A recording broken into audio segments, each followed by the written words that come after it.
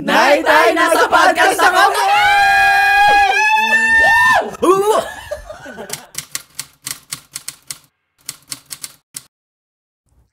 Okay, hello mga mi. How are you? We are doing great. I am award-winning. What is your award? Um, Most punctual. most talkative. Ikaw, kamusta? Ba't parang naiiyak ka pa? Sa, hindi, masakit pa rin yung likod ko hanggang ngayon. Ay, Oh. ano, alam niyo naman ako yung pinakamatanda sa inyo. Aminin na natin. Huwag na tayo magplastikan. Oo, kasi yung kaya nilarayo mo. Pero age reveal daw. Labasan ng NSO. Ano natin ganunin? Buti naman kayo. Okay na okay. yung Ay! Ano nangyari? Dapat ganun pala yung reaction.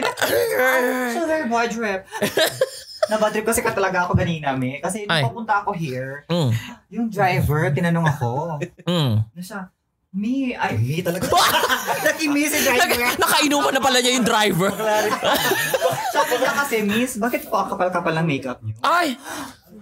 Eh, Nakaka-offend. Ah, Nakaka-offend. Eme. Tapos sabi ko kasi may event po kasi ako later. Mm-mm. Ano, may, sus- may shooting po. Oh, uh, artist. Oh, Tapos sabi niya kasi, dati, nung panahon namin, ay, Ay! hindi Ay, na may edad na ba? May edad na May si... edad na si kuya eh. Tapos sabi niya, nung panahon namin, hindi daw nagme-makeup ang mga babae kasi nga, simplicity is beauty. Kaya Ay! nga ngayon, hindi daw na-appreciate ang beauty kasi nga natatakpan ng makeup. Ay! Ano sabi mo, Mia? I cry. Umiyak agad! Umiyak agad! Yung ginawa niya Sabi lang, ko na lang, stop the car. Ah, Stop the car. may wala siyang ginawa. Binigyan niya lang one star. Eh, hindi niya pa, hindi niya pa alam kung paano English yun. Discre- decrease me there. Chris. Sabi ko niya, release me here. Hindi, teka muna. Hindi, nung sinabi niya, na-offend ka. Um, konti. Kasi Okay. nga, ano, parang ano, siguro, um, ko, curious siya at first ka, kasi nga, ka, bakit makapal yung makeup ko. Pero, Ah, nasa back at my mind kasi, parang may gusto siya talagang sabihin na something. Ah. Na, ah, okay, so, wala pa pakialam siguro, charot lang. Wala pa pakialam kung makapal ang makeup ko. Pero, yun nga, since sinabi ko lang sa kanya, may shooting ako later. Ah. And then, sabi niya, yung, nung nag, nagsabi na siya na, kasi dati, nung, panahon namin. niya, Oo. hindi doon nagme-makeup mga babae. Sabi ko naman, wala pa kasi nung ano. Hindi pa na-invento makeup nun. Puro pa mga brands. Puro lang kay Atwete. Oo.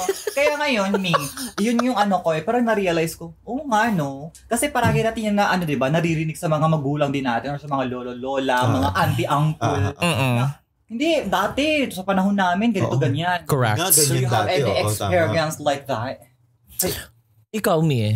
Oo. Ah, kasi matanda na ako sa panahon ko. Mi, siya na yung nagsasabi nung panahon na. Huwag kayo magsimula sa akin! Kahit hindi ka magsimula! Parang wrong yung choreo. sa akin!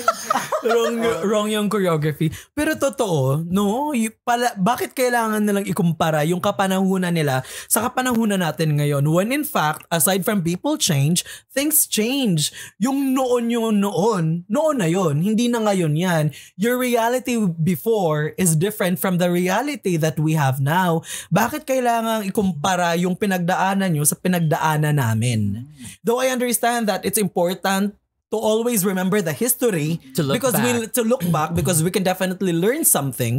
Pero I think it's very unfair naman na kailangang ikumpara yung pinagdaanan nyo sa pinagdaanan namin. So, sometimes kasi parang hindi applicable yung mga gawain before to now. Mm. Palagi nga nilang sinasabi, what's true for one is not true for all. Yes. Kung yan yung realidad nyo, iba yung sa amin. Nabasa mo na naman yan sa likod ng pinto ng Oo, may- CR. Nung may nakalagay, wanted textmate, 09. Tsaka likod ng bus. Yung iniipitan ng ticket. So, so kapag ba sinabi nung panahon namin, sumasakay kami ng kalabaw papuntang school, maghahanap rin ako ng kalabaw ngayon. Diba? Tapos idadaan mo sa kubaw ilalim.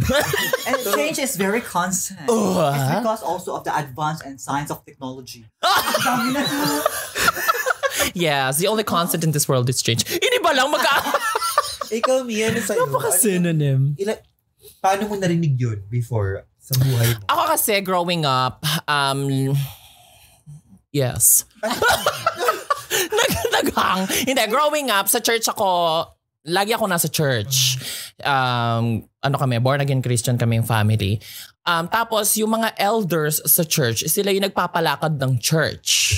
Yung nasa management ng church, puro may mga edad na. Like mga senior citizens na. Tapos, um, the way how they run the church is somehow kind of I would Old say school. Our old school or should I say archaic.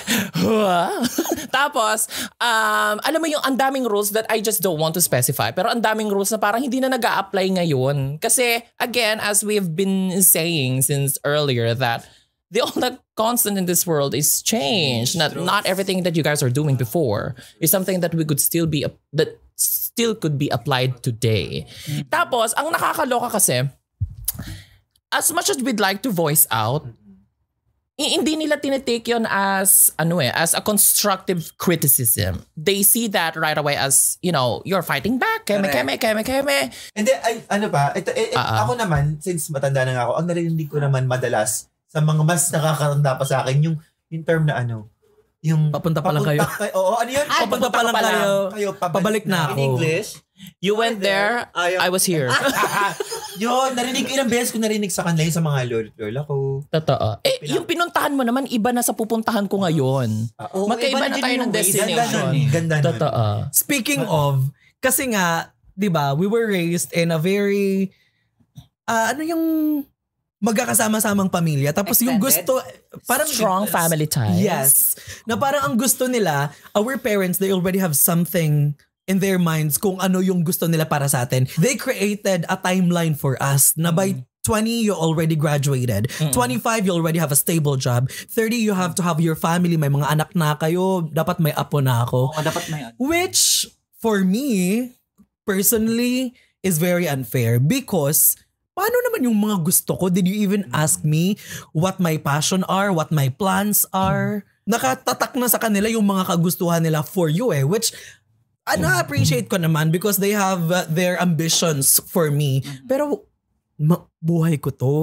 'Di ba? What about the things that I like? What about the things that I want to achieve first? Let's say for example, kasi I think yan din yung nagiging dahilan ng pressure and anxiety ng mga kabataan Ay, ngayon. Because they are learning and they are aware that their parents are growing old and the pressure na wala pa silang napatunayan, kaya nagkaka-anxiety yung mga Mm. kabataan. Kasi wala pa silang napatunayan sa parents nila, palaging pinaparinggan, ano na, ah, tra- magtrabaho ka na, yung anak mo, magkakaanak ka pa ba, mag-asawa ka ba, kailan ka magbubuntis. Kasi nga yun yung It's the culture nila pressure. before na early age pa lang, natatrabaho na sila. Unlike now that Totoo. you really need to study hard, you need to finish studies before you can get the job that you wanted, right? Ayun. Hindi, o sige, pasok na lang natin. Tama yung sinabi niya. Minsan kasi alam mo ang problema, ginagawang investment ang mga Girl, don't get me started with this. Yan na nga. Tama yung sinabi mo, yun yung nagiging problema sa society. Feeling ko ah, na parang yung yung parents minsan, masyado lang ini-instill sa bata na gawin mo to, ganyan mo yan, kasi pinag-aral kita. Anak lang kita. Pinakain kita Oo, ano bilis. namang masasabi niyo doon sa ganung, ganung toxic culture na nangyayari sa Pilipino? Parang ginagawang investment ng mga anak. 'Di ba? Kasi nga for me and from what I have seen, I I think it all, all always and I think it also comes with age. I've learned Gusto ko na nakaturo ka sa Yung age na kaganyan ka sa... Hindi mo bastos! May problema ka sa age. Ganyan!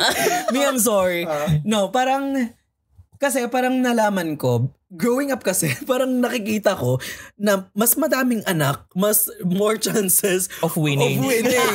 More Diba? entries you send, more chances more of winning. entries na may mara- mas marami kang anak, mas malaki yung chance na isa sa kanila yung makakapag-angat Totoo. sa buhay nyo, which is not true. Kasi, ah, yung nakikita ko naman na ngayon, eh, kung hindi kayo ready magkaanak, if you are not ready to sustain and to provide for the needs of your children, huwag kayong mag-anak. 'Di ba? Kasi ang nangyayari, nagiging investment nga yung anak. Mag-anak ako ng six para kahit isa man lang sa kanila, Mm-mm. sila yung aangat Maging sa amin. doktor, may Pa- maging engineer. Oo, oo, oo. diba? Naalala ko pa before, I was still in elementary or high school, parang nasabi ng teacher namin, uh, one member of the family will, uh, parang sabi niya, one member of the family will always make angat. Ano ba yung make angat? Will raise you from poverty. Yes, parang Wow. ganon. Will make you rags to riches. will make you rags to riches, di ba?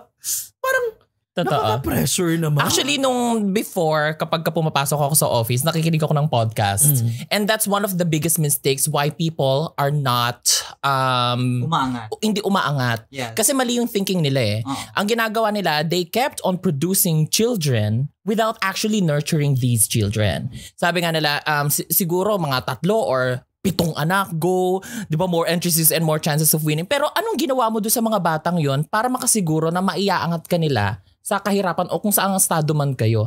Instead of just having at least one to two children, Mhm. tapos um, you were able to teach them things that you think will um, will will get you out from wherever you are. Eh, that's something that I have And that's, listened before. that's the reason why we need to promote family planning. Charot. Pero wait lang, kasi yung sa Pero isn't it the same thinking na nurture mo yung anak mo para mayalis kayo sa kahirapan? Makes sense.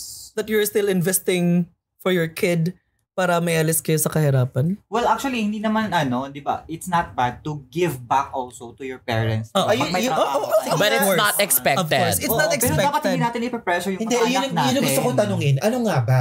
Responsibilidad ba ng anak na iangat yung... Angat Oo, talaga. no? iangat yung, yung magulang nila o yung pamilya sa kahirapan. Responsibilidad ba natin? Kunyari tayo yung anak. Ako, hindi ko sinasabing responsibilidad. Pero kung mabuti kang anak at may, sasabihin na natin yung utang na loob. Di ba? Kasunod. Oo, may utang na loob ka. For me Diba? lang ha, personally, I wa- appreciative ako eh. I Okay. really appreciate what my parents did to me. So as an anak, and since hindi naman ako makakaanak, I feel like Mm. my parents are my ano, my beneficiaries of the things that I've worked so hard for. Do you think, For me lang naman, do you pero- think isang ano yan, toxic Filipino culture, utang na loob? Ang ut- Pag Are you excessive asking for siguro, me? pag sa- excessive utang na loob. Pag gano'n na sobrahan na What is excessive? ako naman, Pag lumagpas 50k per month yung binibigay mo, ako naman, may pricing. ano ang excessive for you? Kasi baka naman, for us, ano mo yun, so-so lang yun. Yung Tama? feeling ko kasi, yung ah, excessive utang na, ay yung utang na loob mo na. Charot, walang Ah, excessive. Ah, ah, yung utang okay. na loob is parang ano, you are ano, voluntarily giving uh, something to your parents or to your family, like financial or ano ba yan. But, if we say excessive, parang yung ano, yung kahit may binibigay ka naman, tapos manghihingi pa sila ng more than that because, and then they will, they will like say na, ay hindi, hindi ah, tawag niyan, kailangan mo pag magbigay ng marami or mas, ano pa, more kasi nga, pinalaki ka namin. Pinag-aral ka namin. Hindi ka makakarating sa ganyang posisyon ngayon kung hindi sa amin. Ako naman, I I don't think utang na loob is a bad thing. It only becomes bad if it is forced or imposed. Alam mo yung kaila- may utang na loob ka sa akin kasi ako yung nagpalaki sa'yo. Parang nagiging negative na siya. Pero if utang na loob is something in you na palagi mong iniisip na lang siguro na um, I was raised by my parents, I was raised well, wala silang pagkukulang. They did everything that I can to raise me. And I feel like it is my utang na loob loob to repay or pay back to all the things from all the things that they have given me. I think it's okay. Pero yung pinagsiksika na sa'yo, may ini-impose na yun, fino-force na sa'yo na utang na loob mo, ang buhay mo ngayon, wala ka kung wala ako. Salamat ha. That's not what I'm trying to say. Para, kaya siya na, nagiging negative na. Oo. Ikaw, me, what about you? Hindi, actually, that's what I'm about to say too. Like, utang na loob is something that you should feel within you. Mm. Bavarian. Hindi, oo nga. Kasi, tao rin naman tayo. Nararamdaman natin na our parents did a lot of things from us. Mm-mm. Especially if you're a kind of person who didn't come from the most comfortable lifestyle. Mm-mm. Siyempre, ikaw na mahal mo yung parents mo, your immediate family, your your siblings and all that stuff. Stuff. Tapos sa tingin mo umaangat ka na sa buhay, bakit hindi mo tulungan? Why not? Wala namang wala namang wala namang masama, 'di ba? Sino bang magtutulungan kundi tayo? But the fact that you are being expected to give back while you are ano nag starting to earn your own money and all that yun na yung nagiging toxic for me na parang ang nakakaloka pa minsan ni ang parents nagwo-work keme-keme yung panganay eto na, kumikita na. Ay, girl, nag-stop si tatay or si nanay mag-work kasi eto na si panganay. Oo. Habang ang anak nila eh lima, yung apat hindi pa, hindi pa, pa. hindi nag-aaral pa, hindi pa tapos yung iba nga sobrang bata pa. Napasa na kay akla, napasa na kay panganay yung responsibilidad. Ang ending, hanggang sa mga susunod na gener- generation, generations, nagpapasa-pasa kasi hindi nakapag hindi nakapag-prepare sa future si panganay because he was kept on having these responsibilities that is not even expected from him to do so. And meron nga, ano di ba, instance din na first sahod mo pa nga lang, bigay mo lahat. Ay, gusto ko talaga. Binigay niyo ba? No. Wala, Ang bilis din daw. Eh wala akong baon sa susunod na shift eh. So I have to have the man. Na, na- okay naman. Wala namang no hard feelings naman with my mom. Sabi ko, ma, kailangan ko munang ma- mga mang- mamuhunan. Siyempre, I was a call center agent back then. So, kailangan ko ng damit, kailangan ko ng mga gamit and all. Kaya sinabi ko sa kanya na hindi mo na kita mabibigyan kasi mag-shopping ako. But Siyempre, baon ko. There is a part of her that she's expecting. Um, siguro nandun din kami sa gano'n na parang, ano eh, I was expected to also provide something for my family. So, um, ayun, nag- nag-explain ako. Eh, buti naman, kasi minsan, communication lang eh. Communication lang talaga. Yes, this is what are being expected from us. But have you even tried to to stand up Oo. for what you believe Or to in? say no. to say no, of course. Hindi- You, you can just say yes to everything. Paano ka naman, di ba, at the end of the day? Correct. Five years. Si, kay mama talaga lahat.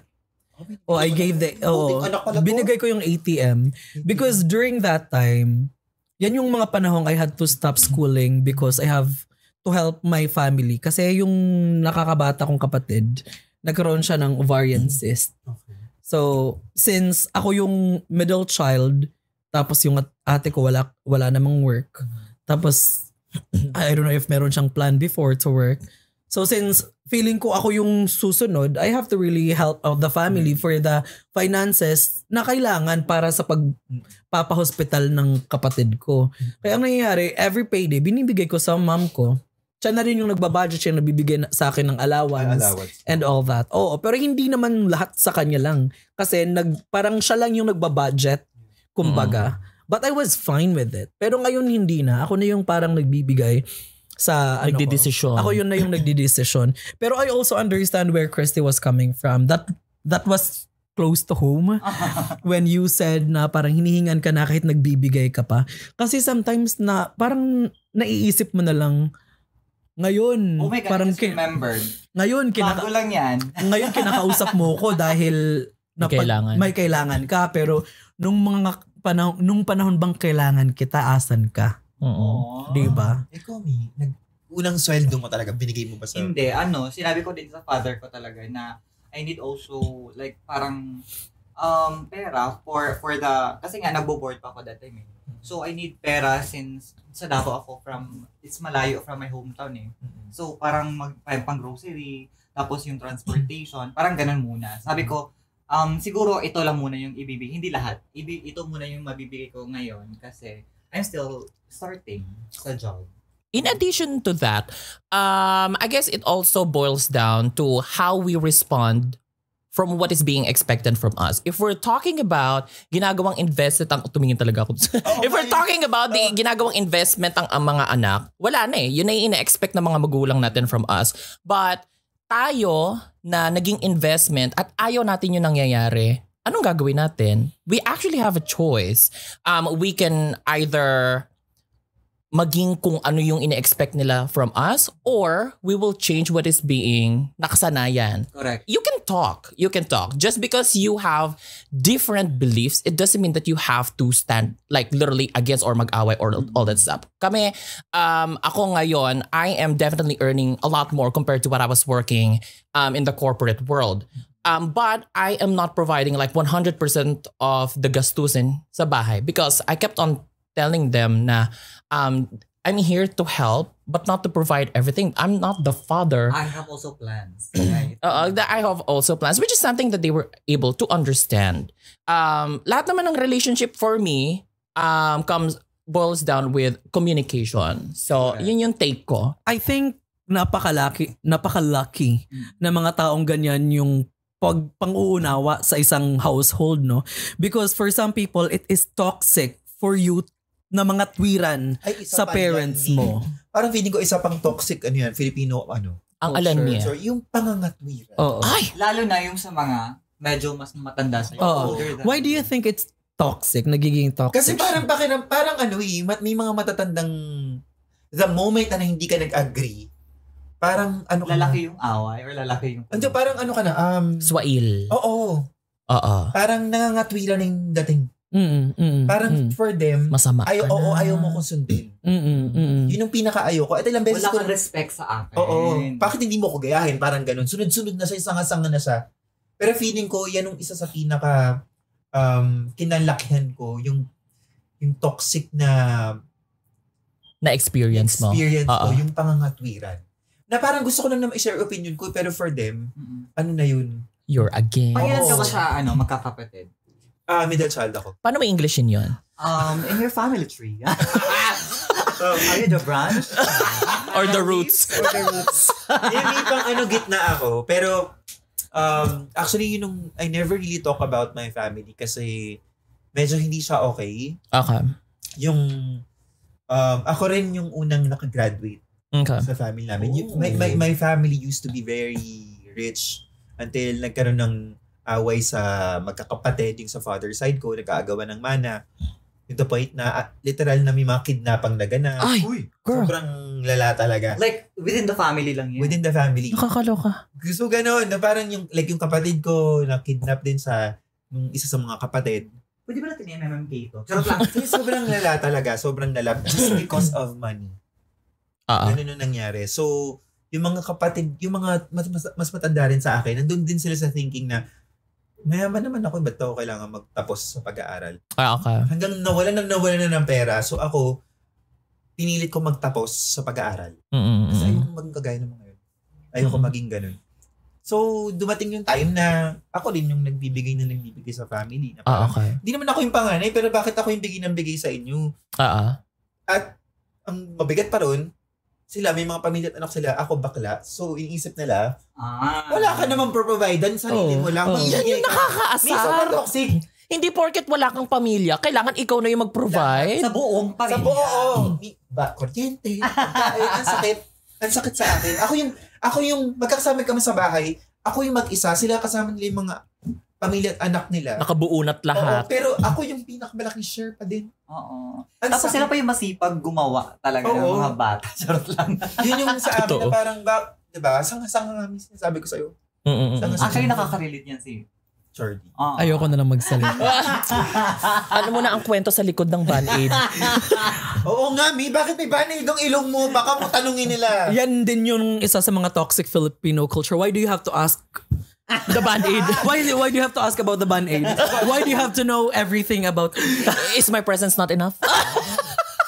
Hindi. I totally, I can totally relate sa Mhm. pinagsasabi ni Steven. Though, hindi ko naman sinasabing bukal sa kalooban ko lahat ng mga pinagagawa ko. Pero parang iniisip ko na lang right now because I can provide. Kaya, go Ba't na are you lang. na panganay ba? I'm the middle child. Middle child din. Oh, yung mga middle child talaga. Siya ang ditche. Oo, eh. The middle child tapos yung mga kapatid ko may mga anak na din. Tapos, yun na nga. yun na nga, yun yun. Tapos, ang nangyayari kasi, yung mga plano natin sa buhay, ang nangyayari na popos. Kaya feeling ko din, may mga magkakapatid, may isang taon na okay na eh, papunta na siya doon.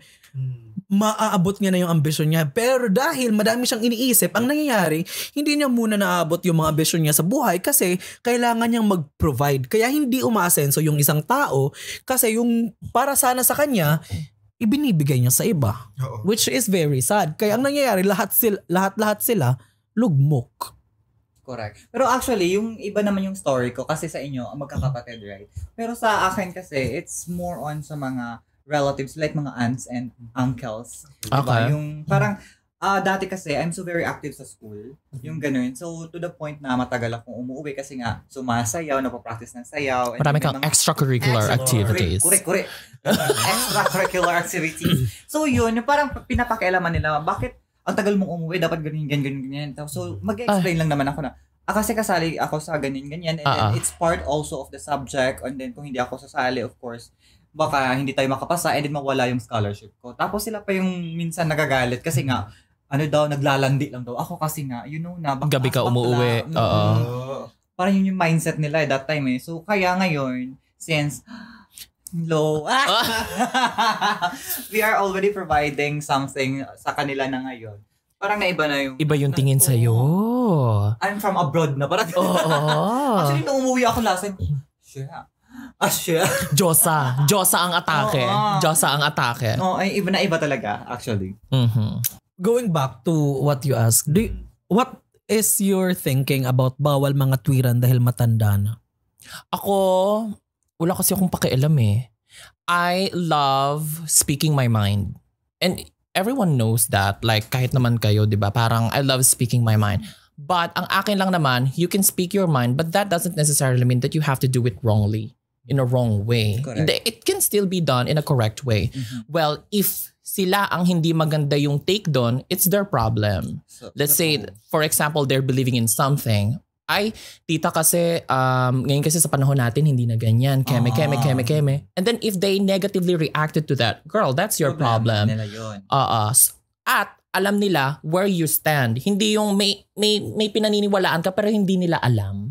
Dapat kasi alam nila kung nasan ka din eh. Hindi po pwedeng, this is what I believe in. But anong nagawa mo to change what you believe in? Correct. And then parang ano kasi, parang masakit sa loob pag hindi mo siya nilabas Parang din. puputok me. Oo. Parang puputok. Ako meron akong follow-up question about that. Do you think we have to always be honest? No. No. I, I yes. no. No. um, sige, ikaw muna. Yes. Okay. Parang, ewan ko, siguro yun yung isa ring problema sa akin. I don't like to lie. Mhm, mhm. Kahit na gano'n ka-harsh yung truth, I'd always say Mm, mm, mm, mm. yung kung anong totoo. Mm, mm. I'd rather, ano, I'd rather hurt your feelings than lie to you. Parang gano'n. Ah, Ikaw ba, Mi? okay. Ako, since, hindi naman, ah, for me, hindi naman lie. Kumbaga, hindi, White lies. hindi ko lang sasabihin. Same. Depende sa sitwasyon. Mm. Halimbawa, you're in a workplace, may napansin ka, pero worth it ba na sabihin ko to? Oh, baka kasi ano, para baka malugi pa yung kumpanya dahil sa tayo. baka ma, matanggal pa yung Um, tao ano rin naman siya, case to case Yes, basis. oo naman. Yes, I guess um I always speak my mind pero case to case basis siya na you don't always have uh, I mean every hindi naman kailangan laging malaman ng tao kung ano yung nasa isip mo. Mhm. May mga times na we can just keep it to ourselves. Parang okay na, parang kumbaga parang lahat na gets na okay Mm. na. Ay, ay- ayoko magbigay ng example kasi baka mabash ako.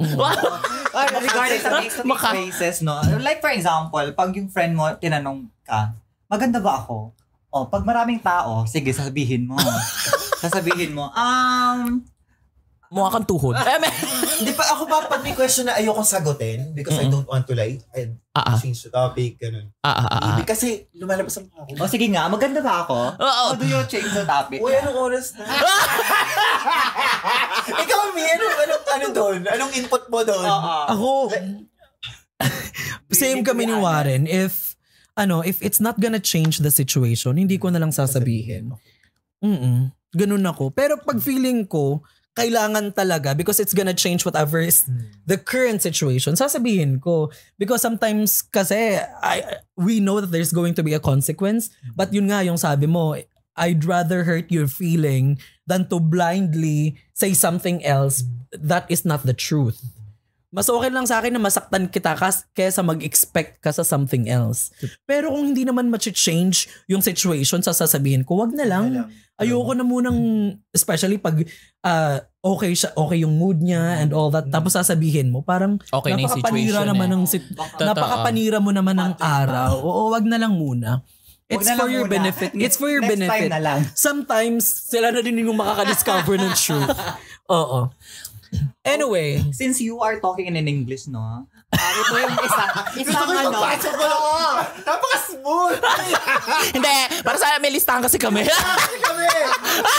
Huwag na tayo magplastikan. May listahan kasi kami kung ano yung topic namin. Ang galing mo. Are you a transitionist? Oh, I'm, I'm very a transition person. That's why I'm transgender. so, ano, so ano nga yun? Ano nga? Ah, since we're... Since you are talking in English, Ah? di ba yung toxic Filipino culture din is English is a basis of one's intelligence. Wow. Are you agreement? Did you agree to the terms and conditions? Anong take mo doon?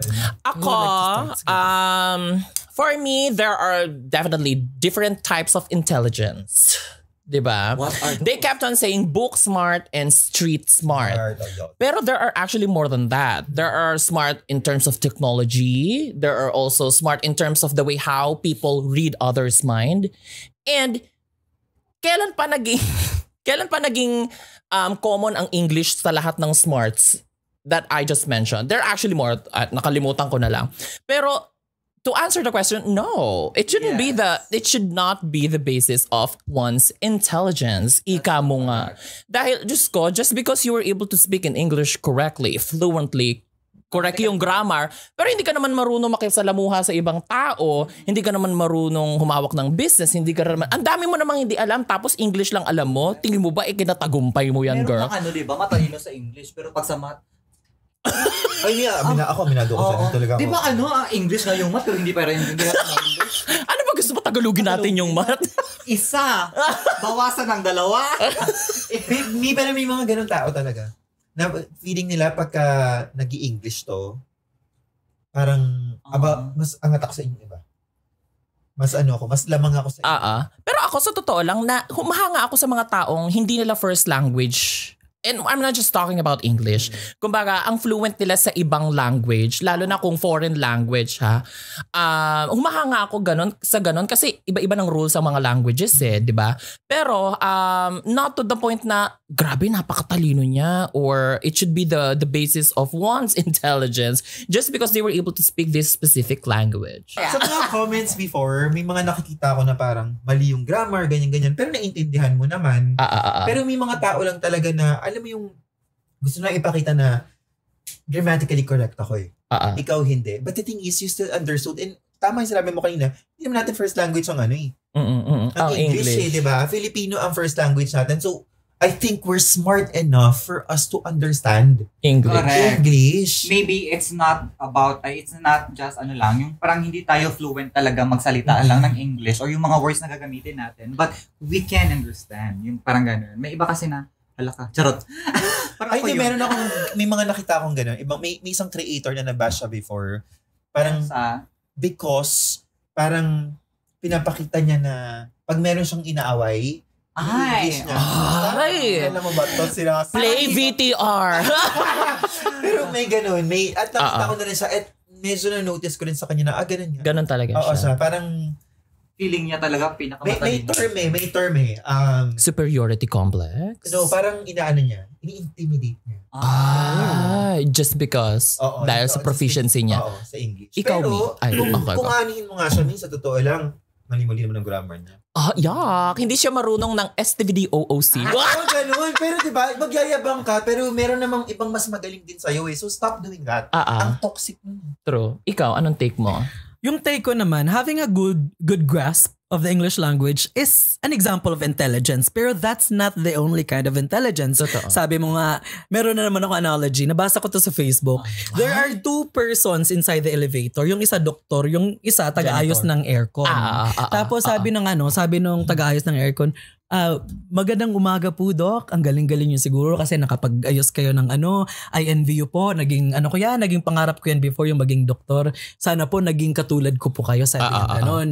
Kas, ang nangyayari, na, na-analyze ng doktor na parang masyadong minamaliit ng taga-ayos ng aircon yung trabaho niya. Sabi niya, ano ka ba kuya? Ako nga hindi marunong gumawa ng aircon. Ah. Iba-iba kasi tayo ng intelligence just because magaling ako dito, hindi ka na magaling sa larangan mo. Iba't Totoo. iba tayong galing sa larangan. So we are all intelligent in our own way. Yos. Totoo. But just because you speak the English language doesn't mean that you are any ba- bet any better are than anyone than Totoo. anyone else. ang basis. Oo, you are Totoo. not in a competition of anybody else but yourself. Ang nakakainis pa kasi, kaya siguro natin nasabi yung um, English is the basis of one's intelligence.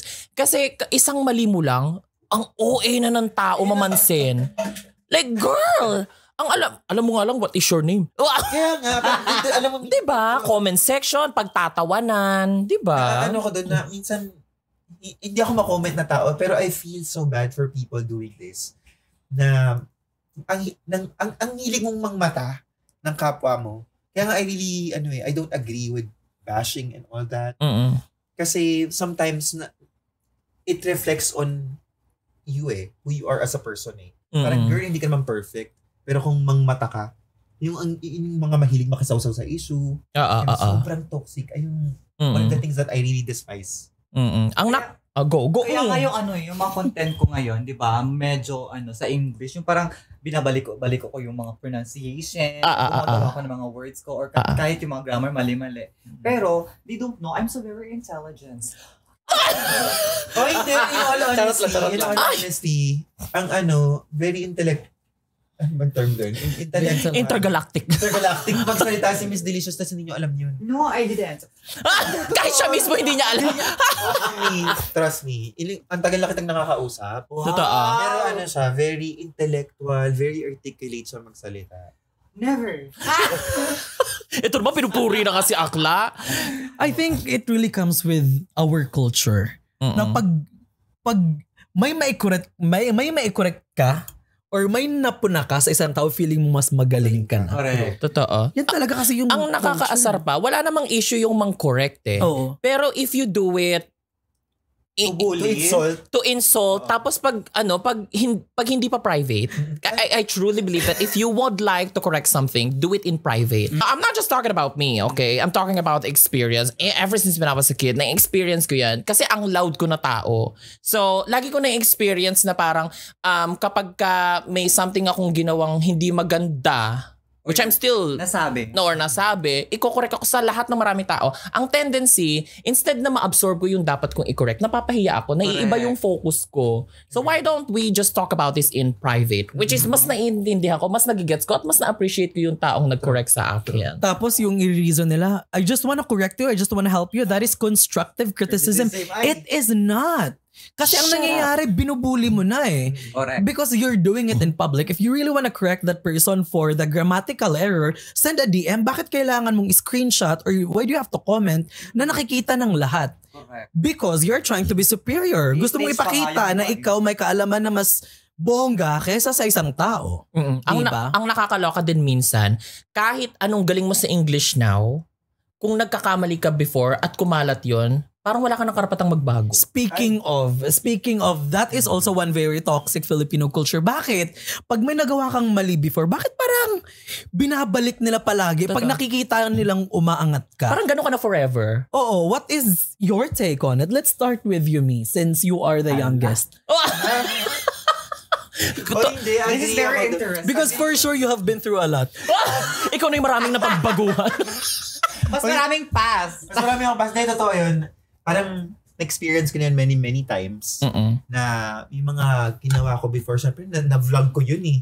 So nakita ng mga tao, and there was a time na nag-bash ako ng sobra. Actually, wala akong ginawang mali, but there was this one person who created lies about me. Ah, ah. So parang, That's not even true. that's not even true. Mm-mm. Tumatak sa utak ng tao yun. And when I started showing receipts, Hindi naniwala. hindi naniwala yung mga tao. Oh, and ganun din ako, maingay din ako. Eh. Sobrang loud ko rin. Ah. So parang automatic na ako na yung masamang tao. Ah. Ah, ah. So I had to stop. I have to I had to stop everything. Para lang makalimutan ng tao. But then, ewan ko, parang sa ibang mga platforms, naiisip, naaalala pa rin nila yung sinasabi pa rin nila na maldita yan si Steven, ganyan-ganyan. Just Ah. because maingay ako. Without knowing who I really am. Oo, oo, oo. Ganun. Parang Correct. feeling ko, it's one toxic Filipino trait na pag may ginawa ka, hindi na nila makakalimutan yun. Yun at yun na lang yung maaalala na sa'yo. Kahit naggaano karami yung mabubuting bagay na ginawa mo. Natatabunan. Natatabunan lahat yun. Ikaw, me. Ako naman, I really agree. Yung mga, bakit parang wala kang karapatang magbago? Bakit parang we don't have the right to learn from experiences? Na-mention ko nga sa previous vlog natin before me, we are not a bad person. We become a better person from the bad experiences. Kasi hindi naman tayo ipinanganak na wise na, hindi naman tayo ipinanganak na magaling na. Sometimes we really have to fail. We really have to commit mistakes for us to learn from these. Diba? And from these experiences, from our past, from our learnings, we can be an advocate of the things that should not be done next. Diba? Pwede nating i-correct yung sarili natin. Let's say for example, you've done something wrong in the past. In the future, pwede mo namang, pwede kang maging advocate about it. Let's say for example, ayaw mo nang, gusto mong sa i-share sa mga viewers mo. Let's say for example, as a content creator, you can share that these are the things that I've done before and these are the things that you should not do. Correct. Diba? May mga less. Oh, may mga lessons. So parang ang nangyayari kasi, especially pag nakita nilang umaangat ka, pag nakita nilang you are at- slowly achieving what you wanted in life, hinihila ka nila pababa using those mistakes. Nagkakaungkatan. Oo, oo, nagkakaungkatan which for me is just very toxic. Big, And really- tapos, um, sometimes kasi parang gusto nila maging apologetic ka pa. Oh my God, that happened 10 years ago. I was naive then. I was, I was ignorant Aggressive. back then. I was aggressive. I didn't know anything back then. Pero bakit you have to bring it back to me now that I have learned so much? Now that I know na mali ko. Hindi, hindi ba ako pwedeng magbago? If you would like to correct something, do it in private. Because instead of that person absorbing what you would need to change, napapahiya na lang yung tao. Trauma. Sometimes we just really have to face the consequence. Kasi kahit you've learned something from it, people will, will really have to, people will say something about it. Sometimes, kailangan mo na lang talagang i-face. Good or bad, may masasabi ka. Oh, just face the consequences. Yun na lang yun. Tapos, yung sinabi mo nga kanina, if si Christy nag-reply, sabi mo hindi, I think it's a good thing that you did not because once you pa. give them the spotlight, mas dadami pa yan. Lalaki Do not give your uh, do not give your haters the Satisfaction. the satisfaction that they are looking for. If you want to block them, block them. Ignore them if you can. Ako, Pero just don't. ano, ko- ako, parang I don't mind blocking. Mm-mm, mm-mm. Kasi, ang pinoprotektahan mo yung, ano eh, Peace. yung mental peace. health mo. Oh, Totoo, true, which is true. important as a content I creator. agree. I Kasi agree. iba sasabihin na, eh, block ka na, binablock mo yung ganyan-ganyan kasi ayaw mong malaman ng tao yung totoo. Hindi yun, hindi yung point namin dito. Eh. Parang Mm. we would rather protect yung Sanity. the way we think, Ah. the way we see things. Mas Mm. gusto namin makita yung positive Mm-mm. rather than yung negative. Mm-mm. Oh, anyway, eh, grabe. Ang ganda ng discussion natin today. Ang ganda ng discussion natin today. Episode 2 pa lang, pinaiyak niyo na ako. Ito ha, isingit ko lang. Ah, sige. if your family is being toxic, no matter how close you are to that person, cut it. That's for me. Correct. At, okay. How to cut it? Next episode. Ay, parang- Next episode! Sundan! This has been the second episode of our podcast. My name is Steven. This is Charlie. This is Poca. And this is Miss Deliciousness, reminding you everyone to be bold. Be proud. Be you. Fearfully yours. Ah!